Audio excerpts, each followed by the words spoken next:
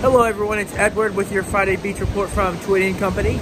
And I'm standing on the stage for the amphitheater in Duck Village where they have lots of events that I'm sure take place during the summer. I think they do some films here in the evenings on certain days and this is where the music would take place if it doesn't take place on the lawn back behind here. Really cool spot right off the Duck Boardwalk.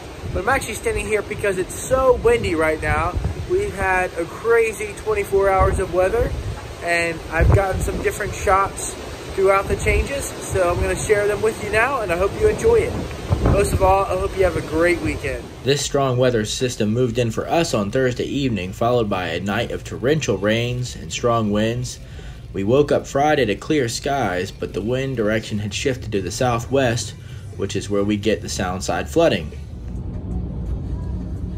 Many of you may be familiar with this area in Duck Village.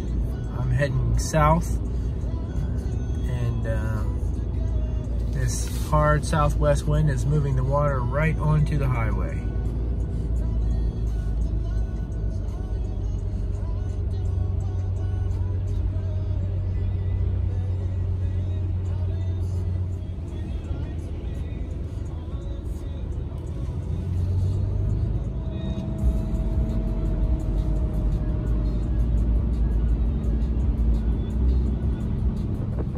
Some places did close early, but not Duck's Cottage, still open for coffee even with debris in the parking lot.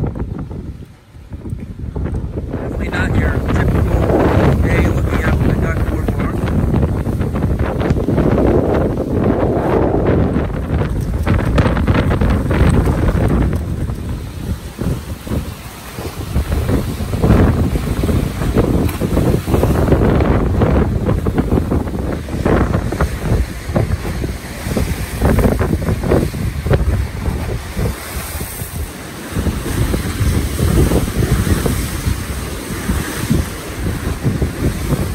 It was a similar story up in Corolla Village where all of the boat docks at the Whalehead Club Boat Basin were underwater and the sound was out of its banks as we ended the day.